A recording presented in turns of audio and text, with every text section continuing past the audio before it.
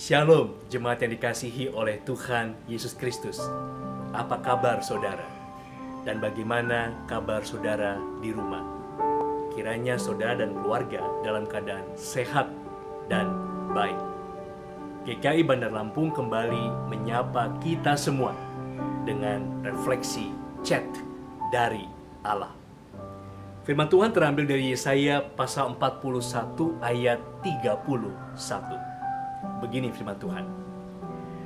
Sebab ini aku Tuhan Allahmu yang memegang tangan kananmu dan berkata kepadamu, Janganlah takut, akulah yang menolong engkau.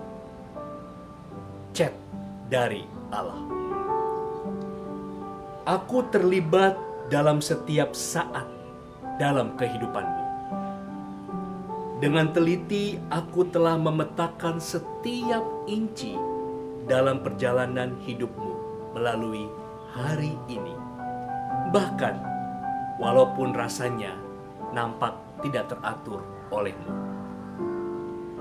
Bersiaplah menghadapi masalah hari ini. Pada saat yang sama, percayalah kepadaku bahwa jalanku sempurna. Bahkan di tengah-tengah ketidaksempurnaan yang begitu kacau. Tetaplah menyadari kehadiranku. Selagi engkau menjalani hari ini, ingatlah janjiku. Dengan mengingat bahwa aku tidak akan pernah meninggalkanmu.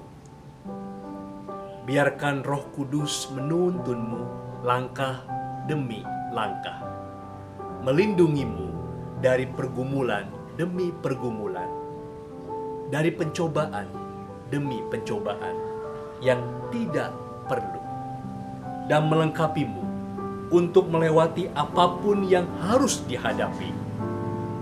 Sementara engkau berjalan dengan susah payah melalui lumpur dunia ini, arahkanlah hatimu, arahkanlah pikiranmu ke surgawi bersamaku. Dengan demikian, terang hadiratku bersinar atasmu, memberimu damai sejahtera dan sukacita yang tidak dapat dipengaruhi oleh keadaan. Semua dari diriku tinggal di dalam dirimu. Demikianlah chat dari Allah. Tuhan Yesus Kristus menyertai kita semua. Amin.